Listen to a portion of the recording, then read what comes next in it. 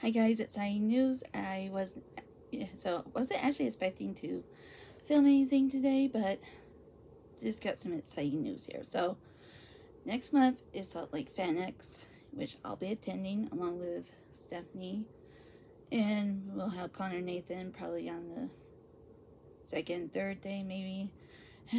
Haven't talked with her about that yet, but today in the mail just barely arrived is stuff for FanX. Now, sneak peek, but haven't done the full formal stuff. So let's see. Alright, so I'll short this here, but ooh, fanny pack. So got the ruby pass instead of the gold pass. They no longer do the gold pass; it's a ruby pass, but the fanny pack. Cool. I actually bought fanny pack so I could carry certain things. So that yeah so cool. I'll explain later. Cool. And it's fanny pack instead of a shirt. I can live with that. Actually will make something I've been wanting to do this year but easier than it was last year. Right. Not I don't really use these but I got this Said it's the Ruby Pass. Cool. Lanyard to put it on.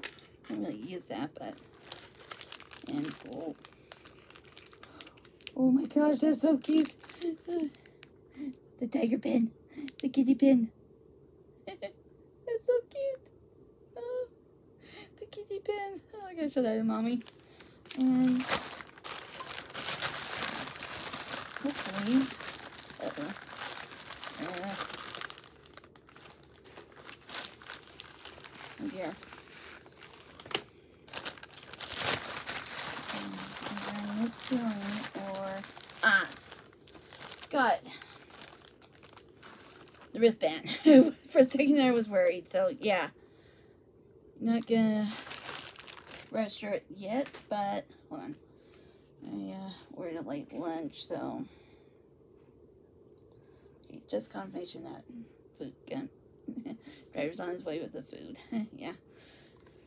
So, yeah, I was a little worried at first. So, I'm not activating this today, but the fact that I have this wristband, which is pink, eh, well, I guess I couldn't get red for a Ruby Pass, but, you know, it works.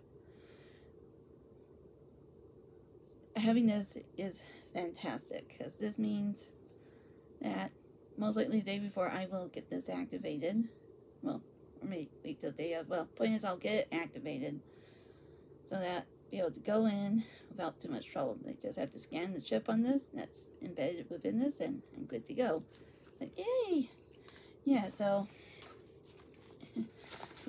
yeah, so my reason for being excited for Fanny Pack, so last year, I know it was, probably wasn't intentional because people tend to rush around, but it seems like a lot of people were slamming into my right side a lot.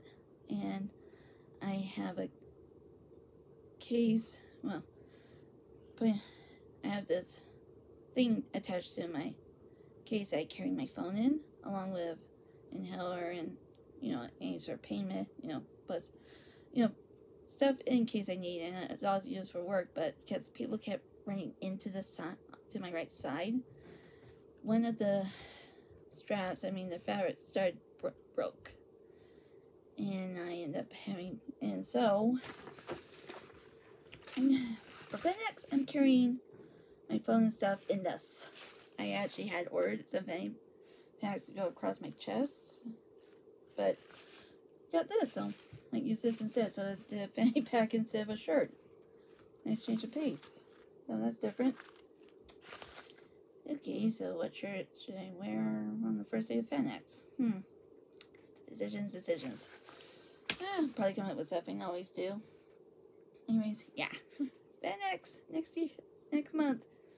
And the event it's a couple new guests, but one who's been there a number of times, and I've always been low key to get follow up with a particular person, but that tends to be super expensive, so maybe someday I'll bite the bullet and do a full up with Dick Van Dyke. That would be amazing, as he's iconic.